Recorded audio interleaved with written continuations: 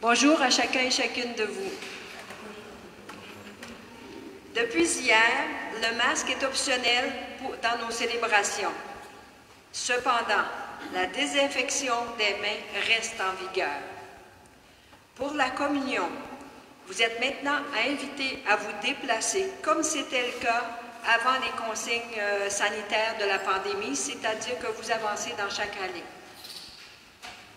Vous avez reçu dernièrement à votre domicile le dépliant de sollicitation pour la campagne de capitation 2022, dont l'objectif est de 500 000 Nous vous invitons à y contribuer généreusement comme à votre habitude. Les différentes façons de faire parvenir votre don sont indiquées dans le dépliant. Cependant, pour ceux qui souhaitent payer par Interac, L'adresse courriel à utiliser, qui est différente de celle de la paroisse, n'est pas mentionnée. Pour la connaître, consultez la version corrigée du dépliant sur le site Internet de la paroisse. Madame Odile de sera reconnue agente de pastorale pour le diocèse de Québec le mardi 17 mai prochain à 19h lors d'une célébration qui aura lieu à la basilique cathédrale Notre-Dame de Québec. Vous êtes tous et toutes invités. Il y aura quête spéciale les 21 et 22 mai pour les charités papales. Des enveloppes seront placées dans les bancs. Merci à l'avance de votre générosité. Nous recommandons à vos prières Madame Cécile Proux-Couturier, dont les funérailles ont eu lieu hier en notre Église. Elle a fait partie de la chorale pendant plusieurs années elle a également été secrétaire bénévole. Elle était la conjointe de feu André Couturier. Bonne célébration.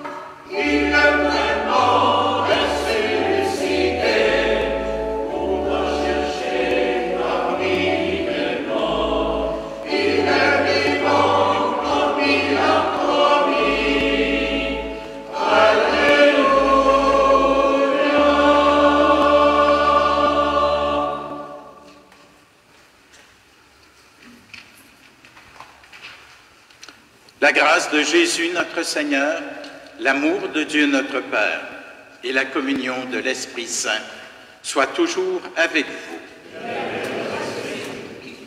Nous sommes toujours dans le temps pascal et nous cherchons encore à nous rendre disponibles à l'énergie de la résurrection. Comme je vous ai aimé, aimez-vous les uns les autres. Malgré nos difficultés à aimer, l'amour de Dieu s'offre à nous pour relancer notre capacité d'aimer.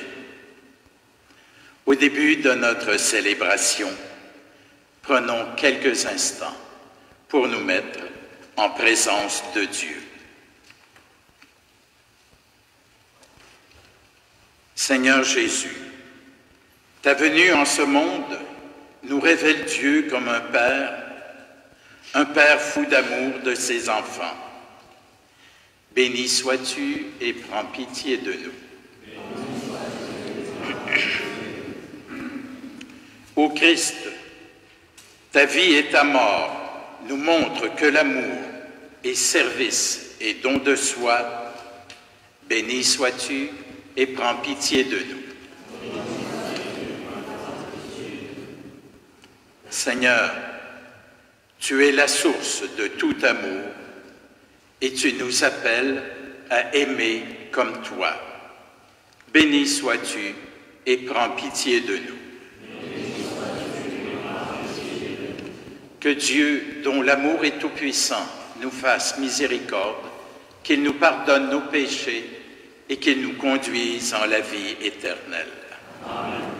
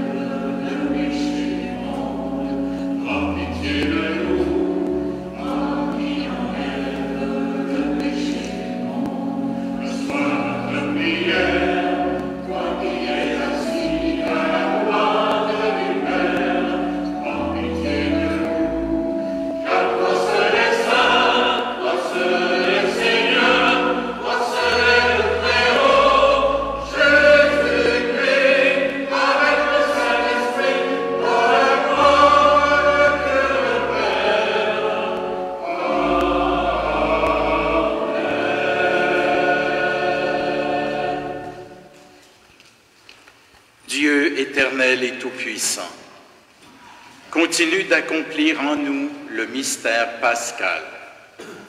Soutiens et protège ceux et celles que tu as voulu renouveler dans le baptême, qu'ils portent beaucoup de fruits et parviennent aux joies de la vie éternelle. Par Jésus-Christ ton Fils, notre Seigneur et notre frère, qui vit avec toi et l'Esprit Saint, maintenant et pour les siècles des siècles.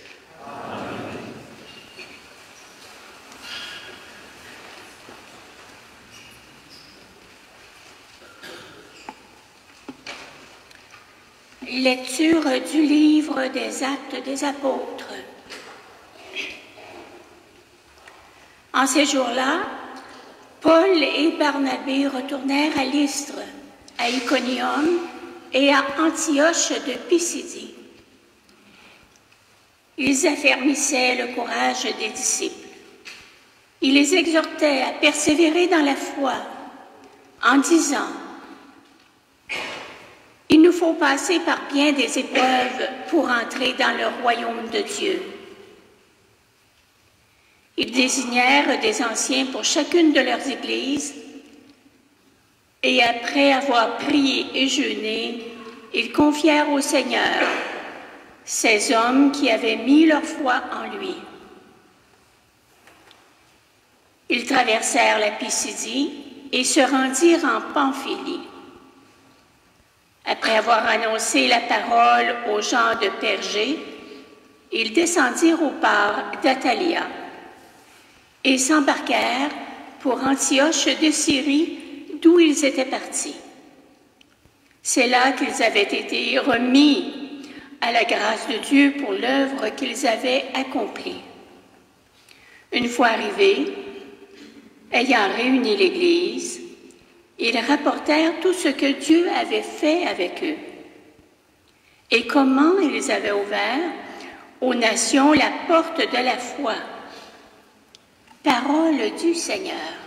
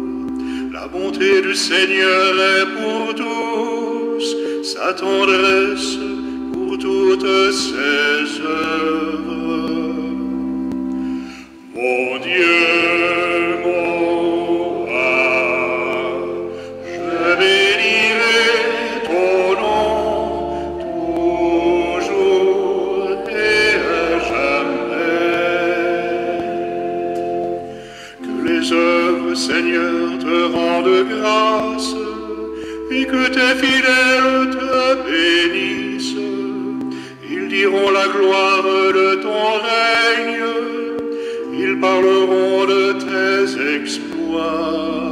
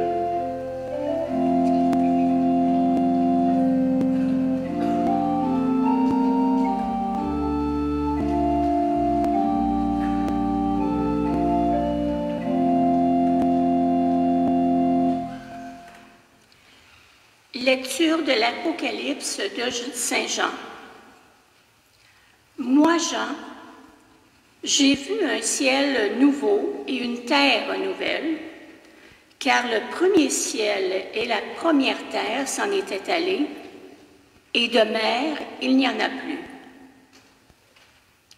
Et la ville sainte, la Jérusalem nouvelle, je l'ai vue qui descendait du ciel, d'auprès de Dieu, prête pour les noces, comme une épouse parée pour son mari. Et j'entendis une voix forte qui venait du trône. Elle disait, Voici la demeure de Dieu avec les hommes. Il demeurera avec eux, ils seront ses peuples, et lui-même, Dieu avec eux sera leur Dieu. Il essuiera toute larme de leurs yeux, et la mort ne sera plus. Il n'y aura plus ni deuil, ni cri, ni douleur. Ce qui était en premier s'en est allé. Alors celui qui siégeait sur le trône déclara, Voici que je fais toutes choses nouvelles. Parole du Seigneur.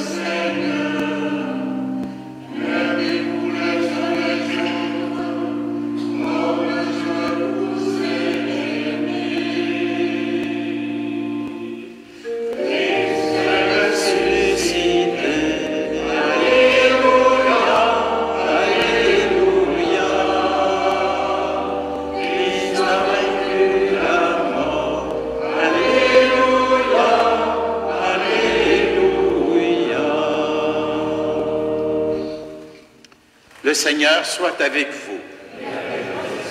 Évangile de Jésus-Christ selon Saint Jean. Au cours du dernier repas que Jésus prenait avec ses disciples, quand Judas fut sorti du Cénacle, Jésus déclara, Maintenant, le Fils de l'homme est glorifié et Dieu est glorifié en lui. Si Dieu est glorifié en lui, Dieu aussi le glorifiera. Il le glorifiera bientôt. Petits enfants, c'est pour peu de temps encore que je suis avec vous. Je vous donne un commandement nouveau, c'est de vous aimer les uns les autres. Comme je vous ai aimé, vous aussi, aimez-vous les uns les autres.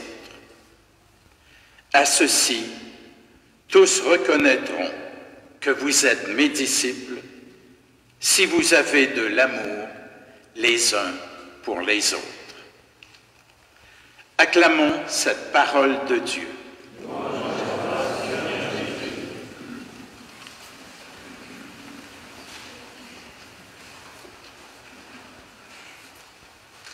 Combien de personnes aimez-vous? Vous êtes-vous déjà demandé combien de personnes vous réussissez à aimer véritablement? Question redoutable à laquelle on ne réfléchit pas souvent. C'est loin d'être évident. D'ailleurs, cette interrogation nous conduit à nous demander aussi ce qu'on veut dire par aimer, parce qu'on sait qu'il y a plusieurs formes d'amour. C'est la question que nous lance l'évangile d'aujourd'hui et sur laquelle il vaut la peine de réfléchir de temps en temps. Un de mes amis de tradition juive, lui, me disait qu'un être humain normal est en capacité d'aimer cinq personnes, dix, peut-être quinze, mais c'est gros maximum. Quand quelqu'un vous dit qu'il aime l'Amérique, qu'il aime le tiers-monde, ça veut dire qu'il n'aime personne.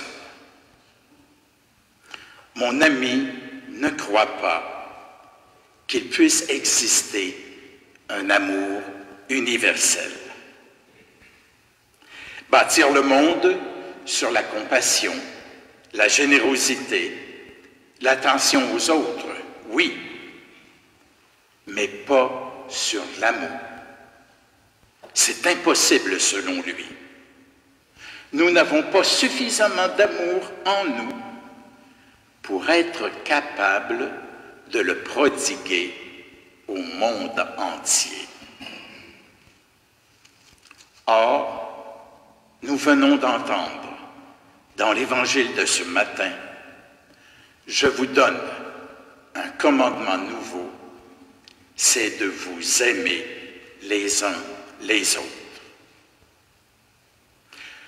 Beaucoup de religions, dont le judaïsme, invitent à aimer son prochain, mais ce prochain est habituellement celui avec lequel on partage la même religion. L'invitation à l'amour universel semble bien être une des caractéristiques de la tradition chrétienne, même si les chrétiens n'ont pas toujours incarné ou mis en pratique cet euh, appel de Jésus. De ce point de vue-là, c'est une des contributions de l'Évangile à l'histoire de l'humanité. C'est bien beau tout ça, mais de quel amour parle-t-on ici? Habituellement, on distingue trois types d'amour, vous savez. Premièrement, l'amour passion, l'amour éros, qui est celui du coup de foudre, d'un fort désir de l'autre. Un amour fondé sur une relation charnelle, sexuelle avec l'autre. Un amour possessif. Il y a aussi l'amour d'amitié, l'amour filia. L'amour que nous avons pour nos parents, nos frères, nos sœurs, nos proches. Un amour qui prend appui sur une histoire partagée, des centres d'intérêt, des objectifs communs. Et il y a enfin, troisièmement, l'amour altruiste, désintéressé, fraternel. C'est cet amour que Jésus a incarné et que les premiers chrétiens ont appelé charité. Un amour qui donne gratuitement, sans attendre, en retour. C'est l'amour universel dont parle l'Évangile d'aujourd'hui. Nous le savons, c'est un amour difficile à incarner dans la vie de tous les jours, parce qu'il place les intérêts d'autrui avant ses propres intérêts. Le désintéressement exigé de notre part nécessite une vraie conversion, surtout quand Jésus va jusqu'à nous demander d'aimer nos ennemis. Cet amour nous apparaît alors impossible à réaliser humainement. Je pense qu'il faut aller jusqu'à reconnaître cela. Par nous-mêmes, nous n'en sommes pas capables. C'est pourquoi l'Évangile d'aujourd'hui dit aussi, comme je vous ai aimé, aimez-vous les uns les autres.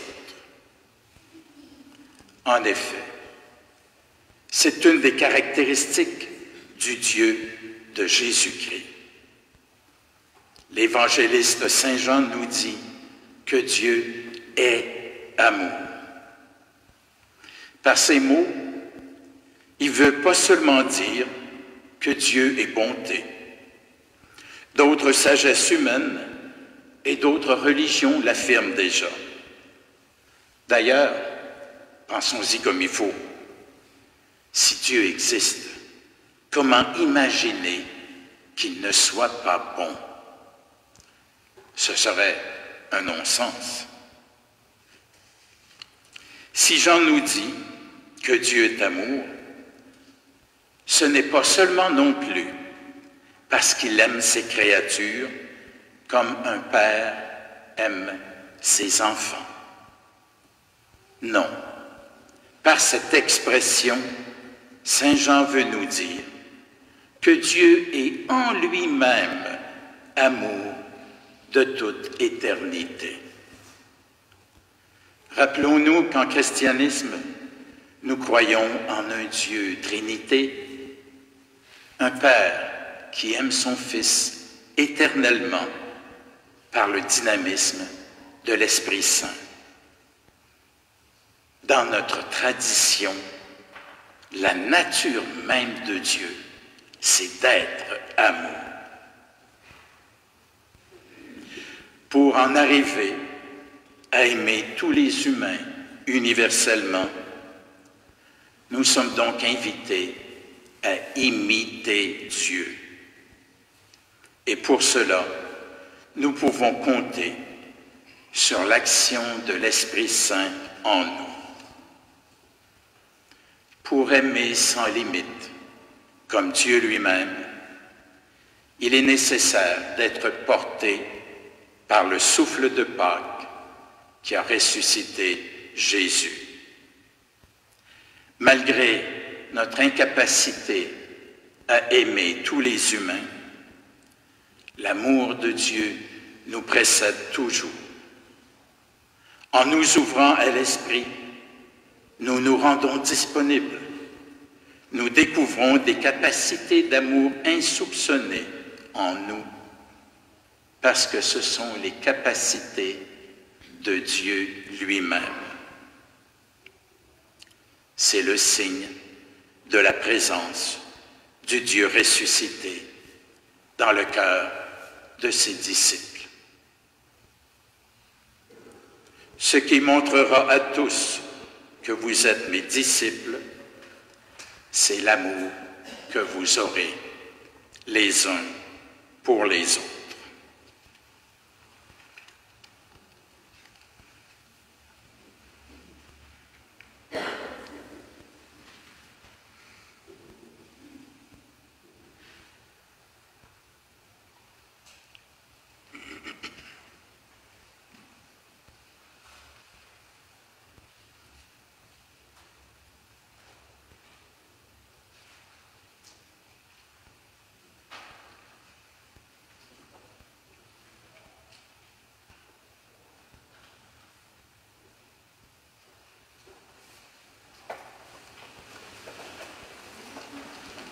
Rappelons-nous qui est ce Dieu qui se présente à nous comme Dieu amour. Je crois en Dieu, le Père Tout-Puissant, Créateur du ciel et de la terre, et en Jésus-Christ, son Fils unique, notre Seigneur, qui a été conçu du Saint-Esprit, est né de la Vierge Marie, a souffert sous Ponce Pilate, a été crucifié, est mort et a été enseveli est descendu aux enfers. Le troisième jour est ressuscité des morts, est monté aux cieux, est assis à la droite de Dieu, le Père Tout-Puissant, d'où il viendra juger les vivants et les morts. Je crois en l'Esprit Saint, à la Sainte Église catholique, à la communion des saints, à la rémission des péchés, à la résurrection des morts, à la vie éternelle. Amen. Il existe des gens qui, par leurs paroles et leur comportement, rendent visible le monde nouveau d'amour, de justice et de paix inauguré par Jésus. Présentons ces personnes au Seigneur et prions pour elles. Garde-les dans ton amour. Pour les hommes et les femmes, qui consacrent leur vie à répandre la bonne nouvelle de la présence, de la grande bonté et du pardon de Dieu, prions. Seigneur, garde-nous dans ton amour. Pour les membres de nos communautés qui accueillent les nouveaux arrivants sans préjugés, dans l'ouverture à leurs valeurs et à leurs traditions, prions. Seigneur, garde-nous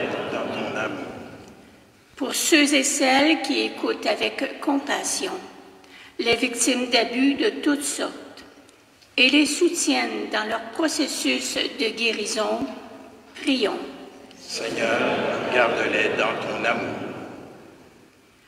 Pour les gens qui accompagnent des personnes affligées par la maladie, le deuil, le chômage et qui ravivent leurs espérances, Prions. Seigneur, garde-les dans ton amour. Pour les membres de même famille qui admettent leur tort, se pardonnent et se réconcilient dans la joie et la confiance, prions. Seigneur, garde-les dans ton amour. Nous prions pour la santé du pape François, alors qu'il se prépare à visiter le Canada en juillet. Que Dieu offre au Saint-Père la force et l'endurance nécessaires pour se rendre dans notre pays, pour une visite de guérison, d'espoir et de réconciliation. Seigneur, garde-le dans ton amour. Seigneur Dieu, tu nous as envoyé ton Fils Jésus. Il nous a aimés du même amour qui circule entre vous.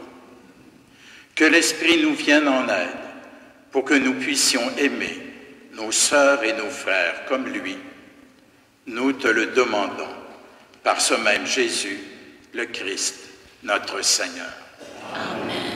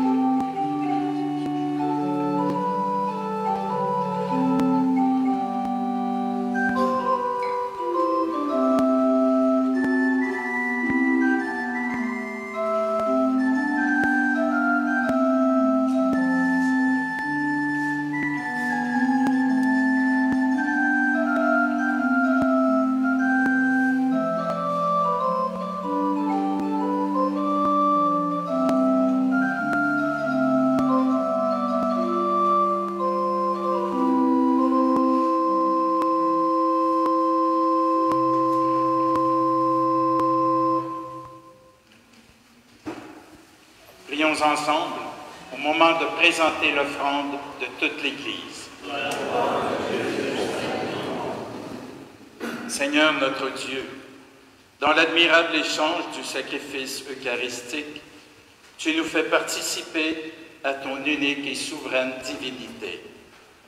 Nous avons reçu la connaissance de ta vérité. Accorde-nous de lui être fidèles par toute notre vie. Par Jésus le Christ, notre Seigneur. Le Seigneur soit avec vous. Élevons notre cœur. Rendons grâce au Seigneur notre Dieu. Vraiment, il est juste et bon pour ta gloire et notre salut de t'offrir notre action de grâce toujours et en tout lieu. À toi, Père des miséricordes et Dieu fidèle. Car tu nous as donné ton Fils, Jésus le Christ, comme Seigneur et comme Sauveur.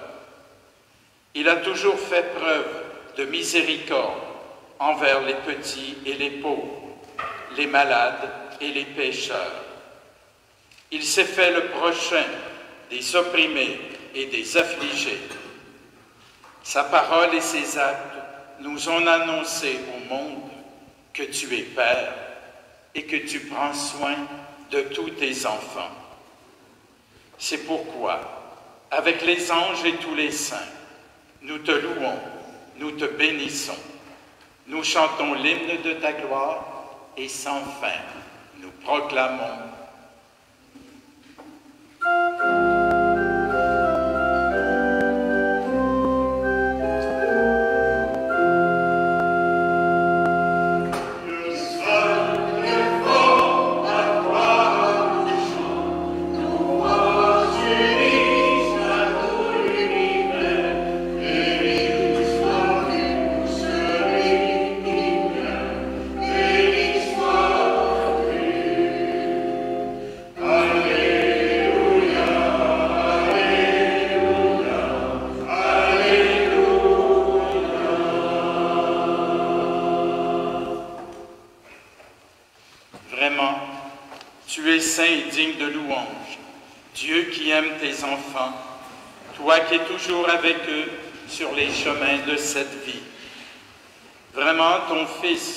Jésus est béni, lui qui se tient au milieu de nous quand nous sommes réunis. Comme autrefois pour ses disciples, il nous ouvre les Écritures et il rompt le pain.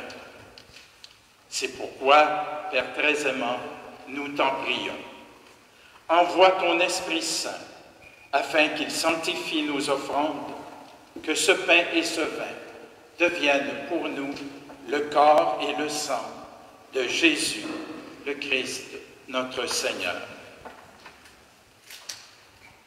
La veille de sa passion, la nuit de la dernière sainte, il prit le pain, dit la bénédiction, le rompit et le donna à ses disciples en disant, Prenez et mangez-en tous, ceci est mon corps livré pour vous.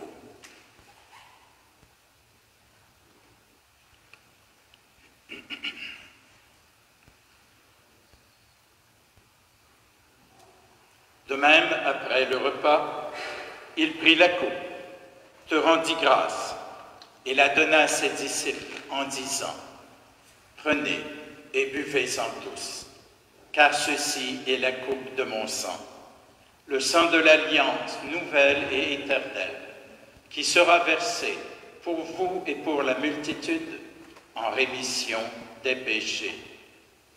Il leur dit aussi, vous ferez cela en mémoire de moi.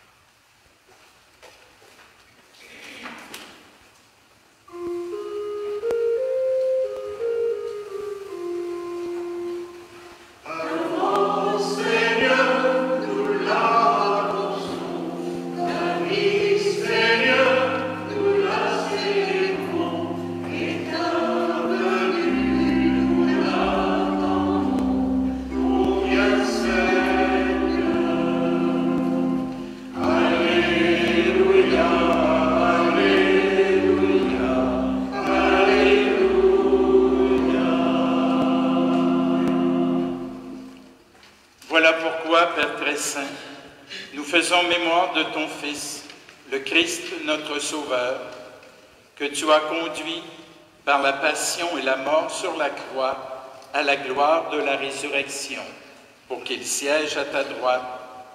Nous annonçons, jusqu'à ce qu'il vienne, l'œuvre de ton amour, et nous t'offrons le pain de la vie et la coupe de bénédiction. Regarde avec bonté l'offrande de ton Église, qui te présente par nos mains ce qu'elle a reçu de toi, le sacrifice pascal du Christ. Que la force de ton esprit d'amour fasse de nous, dès maintenant et pour l'éternité, les membres de ton Fils, nous qui communions à son corps et à son sang. Seigneur, fais grandir ton Église dans la foi et la charité, en union avec le pape François, notre évêque Gérald, son collaborateur Marc, avec l'ensemble des évêques, les prêtres, les diacres et tout le peuple que tu as racheté. Ouvre nos yeux aux détresses de nos frères et de nos sœurs. Inspire-nous la parole et le geste qui conviennent pour réconforter ceux et celles qui peinent sous le poids du fardeau. Donne-nous de les servir avec un cœur sincère, selon l'exemple et le commandement du Christ lui-même. Fais de ton Église un vivant témoignage de vérité et de liberté, de justice et de paix, afin que l'humanité tout entière se lève pour une espérance nouvelle. Souviens-toi de nos frères et de nos sœurs qui se sont endormis dans la paix du Christ et de tous les morts dont toi seul connais la foi. Gabriel et Roland Côté, plus spécialement ce matin. Accueille-les dans la joie et la clarté de ton visage et donne-leur, par la résurrection, la plénitude de la vie. Et lorsque prendra fin notre pèlerinage sur la terre, reçois-nous dans la demeure où nous vivrons près de toi pour toujours. Alors, avec la Vierge Marie, la bienheureuse Mère de Dieu, avec Saint Joseph son époux, avec les apôtres et les martyrs, tous les saints et toutes les saintes, nous pourrons te louer et te magnifier par ton Fils Jésus le Christ. Par lui, avec lui et en lui. À toi, Dieu le Père Tout-Puissant, dans l'unité du Saint-Esprit, tout honneur et toute gloire pour les siècles des siècles. Amen.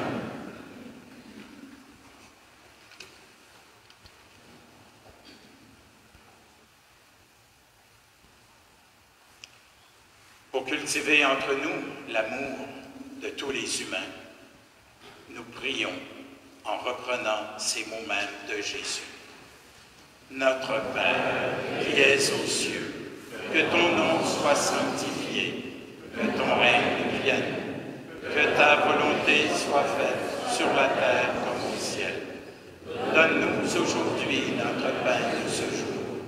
Pardonne-nous nos offenses, comme nous pardonnons aussi à ceux qui nous ont offensés. Et soutiens-nous toujours permet la tentation et délivre-nous du mal. Délivre-nous de tout mal, Seigneur, et donne la paix à notre temps. Soutenus par ta miséricorde, nous serons libérés de tout péché, à l'abri de toute épreuve, nous qui attendons que se réalise cette bienheureuse espérance, l'avènement de Jésus-Christ, notre Sauveur. C'est à toi qu'appartiennent le règne, la puissance et la gloire pour les siècles des siècles. Seigneur Jésus-Christ, tu as dit à tes apôtres, je vous laisse la paix, je vous donne ma paix. Ne regarde pas nos péchés, mais la foi de ton Église.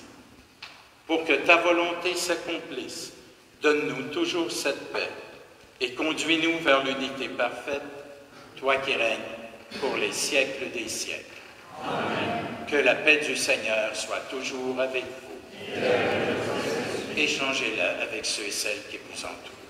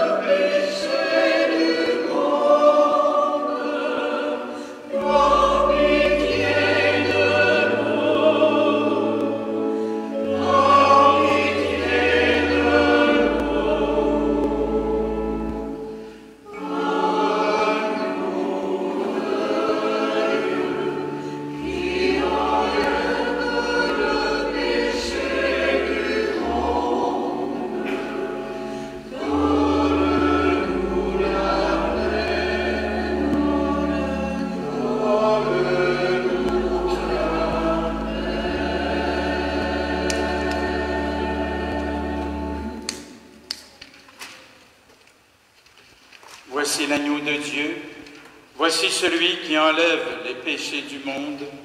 Heureux sommes-nous d'être invités au repas du Seigneur. Seigneur, je ne suis pas digne de te recevoir, mais dis seulement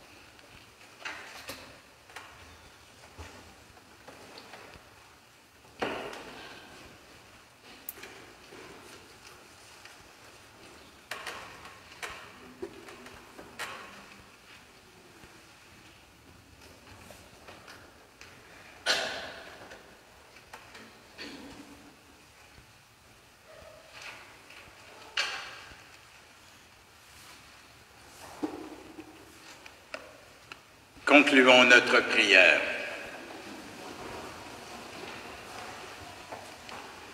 Dans ta bienveillance, reste auprès de ton peuple, nous t'en prions, Seigneur. Puisque tu l'as initié au sacrement du ciel, fais-le passer de ce qui est ancien à la vie nouvelle. Par Jésus le Christ, notre Seigneur. Le Seigneur soit avec vous. Que Dieu Tout-Puissant vous bénisse, lui qui est Père, Fils et Esprit Saint. Allez dans la paix du Christ. Bon dimanche, bonne semaine.